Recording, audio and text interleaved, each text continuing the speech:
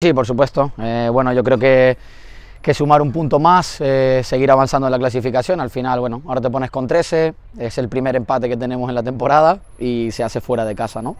Eh, pero bueno, a partir de ahí sí que creo que es un partido muy controlado por el Costadeje, muy, muy controlado desde todos los aspectos del juego. Creo que cortamos bien las opciones de contraataque de Villarreal. Creo que de nuevo generamos muchas ocasiones de gol, muchas ocasiones de gol, muchísimas y no la materializas. Yo creo que si hoy aquí, para no decir cero, te vas 1-3, 1-4, yo creo que no pasa nada. Yo creo que no pasa nada.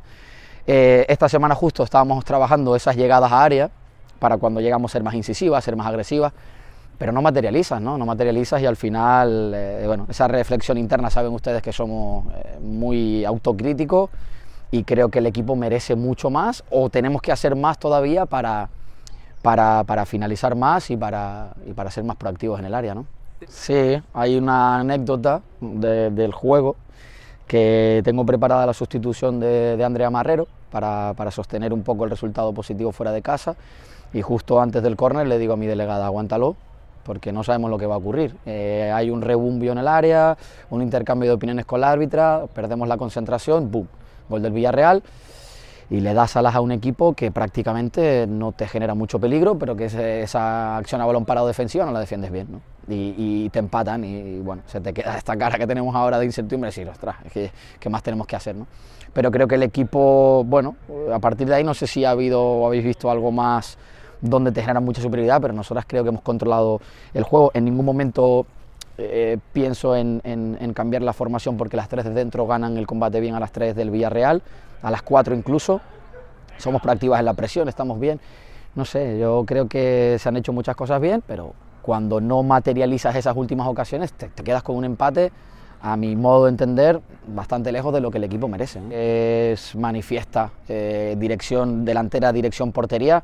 El martes nos reunimos, vamos a hacer una, bueno, la Federación Española nos propone una reunión de, para confraternizar con, las árbitras y intercambiaremos opiniones. Yo creo que ocasión manifiesta de, Coco, dirección portería, última defensora, eh, hay un agarrón, yo creo que es roja directa, creo que si nos vamos a reglamento, roja directa. Hay una retención de Raquel Morsillo del balón en un reinicio de saque de banda, que Raquel Morsillo con tarjeta amarilla, que va al suelo para evitar que le saquen la segunda. Entonces, bueno, son esas pequeñas, la última acción te deja en vilo, en una acción en donde Ainhoa gana realmente la posición.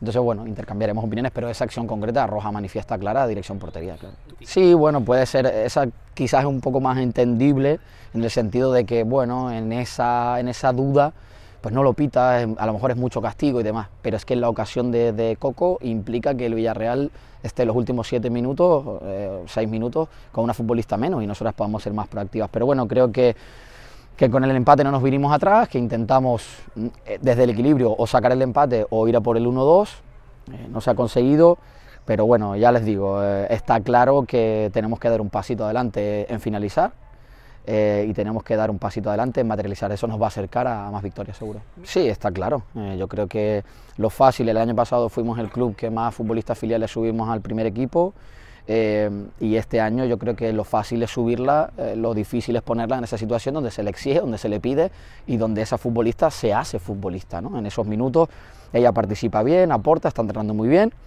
eh, pero bueno, es una futbolista del filial, tiene que seguir trabajando con su equipo y, ser la mejor allí. Pero yo tengo claro que, que, bueno, que es también nuestra función o mi función seguir sacando futbolistas de futuro y en el caso de Ainhoa pues está en la línea que, estamos buscando con nuestra cantera. Sí, bueno, eh, me gustaría jugar lo antes posible eh, porque podemos hacer bueno el empate en casa. Eh, Costa Deje siempre es especial, siempre hay un ambiente muy bueno, siempre sacamos los partidos adelante allí y sí, pues tiene una connotación también para mí, uno de mis ex equipos, pero está claro que yo creo que se manifiesto ¿no? lo, que, lo que yo siento por el, por el Costa Deje eh, lo implicado que estoy en mi trabajo y, vamos a ir a ganar 100%. ¿no? Haremos bueno este punto fuera, hay que mantener el equilibrio y la calma y, seguir construyendo. Y hay futbolistas que, que, tienen que dar un paso adelante para, para, finalizar más y para materializar más resultados. No, me alegro muchísimo, me alegro como entrenador del equipo, como tinerfeño, como canario. Que se pueda vivir ese ambientazo, muchas campeonas del mundo, futbolistas de talla mundial, balones de oro, yo creo que eso hay que aprovecharlo, hay que vivirlo, hay que disfrutarlo, yo estoy muy contento, espero que sigan sumando muchísimas más entradas porque estas futbolistas se merecen que, el de oro le arrope en tal día y que disfrutemos de, un buen partido de fútbol. Bueno, un poco embajonada por no haber sumado de tres, pero, pero bueno, esto es fútbol y hay que seguir. Exactamente, yo creo que sobre todo la segunda parte hemos tenido bastantes ocasiones para ampliar más la ventaja en el marcador, y al final cuando no, no metes goles pues puede darse el caso de que en una ocasión ella te metan y en este caso pues han empatado y, y sensación agridulce obviamente porque tenemos sensación de no haber ganado tres en vez de ganar uno. Sí, al final la Ilenia pues me comenta que, bueno, el balón no estaba ni, ni jugándose, pero me comenta que hay demasiado forcejeo, que ya me había avisado con anterioridad. Y es verdad que hablando con Aline pues nos comenta que, que, tiene sensación de que le hacen falta, pero bueno, al final esto es fútbol, hay, hay que seguir, es un gol que nos encaja en una acción aislada, que es un balón parado, y tenemos que mantener la concentración pues todos los minutos del encuentro. Sí, al final para ser bueno este punto hay que, hay que ganar en casa y hay que, hay que dar un paso adelante ¿no? en, la, en la clasificación y esperemos que así sea, una semana para, para, mejorar, para seguir trabajando y esperemos que bueno, los tres puntos contra el Granada se queden allí en, en Tenerife. Sí, al final son, son acciones, aisladas que, que, nos hacen gol y al final, pues, como te comentaba, esto, estos fútbol es verdad que no tienen una superioridad, no tienen muchas ocasiones, pero en una acción te marcan un gol y, y fíjate, se te van los puntos.